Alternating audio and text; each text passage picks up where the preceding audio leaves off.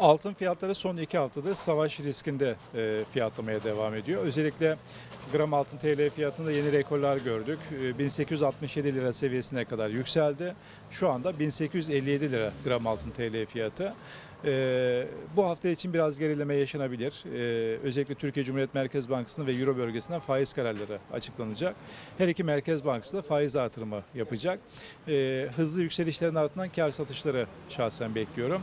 1840 dolar seviyesine kadar ons altında bir gerileme mümkün olabilir. Ancak yine yıl sonuna kadar 2000 dolar seviyesinin üzerine ataklar 2020 ve 2057 dolar seviyeleri var. Yıl sonuna kadar 2000 dolar seviyesinin üzerine ataklar görebiliriz. E, gram altında bu yıl beklentimiz e, özellikle 1880 lira seviyesiydi. 1867 lira seviyesiyle e, biraz yaklaştı bu beklentiye. Ancak yıl sonuna kadar tekrar 1880 direncini takip etmeye devam edeceğiz.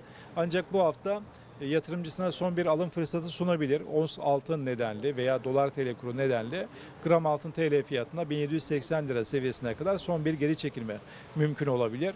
Yine 2024 yılında 2500 lira seviyesi gündemde kalmaya devam ediyor gram altın TL fiyatında. O yüzden e, altın borcu olan düğün yapacaklar bu e, 1800 lira seviyesinin altındaki rakamları bir fırsat olarak okumalı ve yükseliş yönlü beklentilerimiz veya yeni rekor denemeleri tekrar gram altında devam edecektir. Orta Doğu'daki tansiyon yine yüksek. Burada gelen haber akışları yine e, gram altında ve ons altında e, belirleyici olmaya devam edecek. Yatırımcısı mümkün olduğunca elinde bulunan altınları e, satmak için aceleci davranmamalı. Hem makas aralıkları açık hem de düşüşler sınırlı kalır. Tekrar yükseliş yönlü hareketler devam edecek. Yeni rekorlar görmeye devam edeceğiz. Önümüzdeki aylarda gram altın TL fiyatında muhtemelen Ocak ayı itibariyle dolar TL kurunun da 30 lira seviyesine ulaşmasıyla beraber 2000'de seviyeler artık konuşabiliriz. Özellikle jeopolitik riskler e, yani savaş riskleri olunca yatırımcının mutlaka e, duygusunu kontrol etmesi gerekiyor. Varlıklarını panikle satmaması gerekiyor.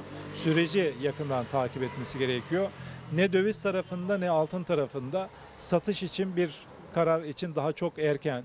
Çünkü belirsizlik devam ediyor. Küresel piyasalar belirsizliği sevmez. Belirsizliğin olduğu her ortamda her şey olabilir ve dolayısıyla da risk artmaya devam ettikçe altın güvenli liman gömleğini tekrar giyer. Rusya-Ukrayna savaşı başladığı zaman 2057 dolar seviyesine kadar yükselmişti. Ee, Hamas-İsrail savaşı başlamadan 1808 dolar seviyesindeydi. Burada da yükselişler gördük. Ancak tekrar 2000 dolar seviyesinin üzerinde fiyatlamalar mümkün. Bu fiyatlamaların sebebi de yine İsrail-Hamas savaşı olacaktır. Özellikle e, altın yatırımcısı satış için e, acele karar vermemeli. Yeni rekorlar yolda. Varlıklarına herkes sahip çıkmalı. Bu hafta Türkiye Cumhuriyet Merkez Bankası'nın faiz kararı ve Avrupa Merkez Bankası'nın faiz kararı ile birlikte kısmen bir geri çekilme göreceğiz. O yüzden bugüne kadar altın almayan, altın almayı ihmal etmiş yatırımcısının da bir fırsat yakaladığını düşünüyorum.